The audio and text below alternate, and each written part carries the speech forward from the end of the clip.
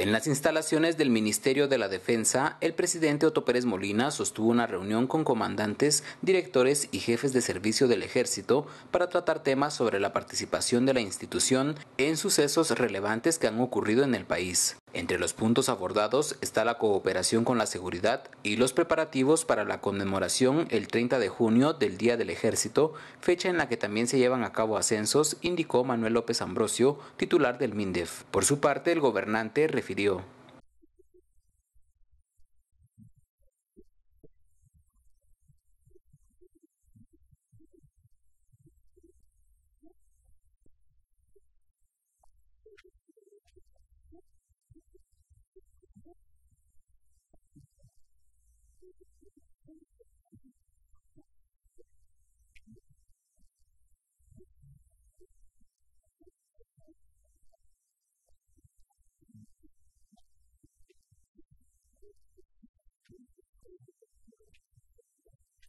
El gobernante agregó, también les actualicé sobre las situaciones coyunturales que se registran en la nación, solicitándoles que se respeten los debidos procesos y el fortalecimiento de la institucionalidad de Guatemala.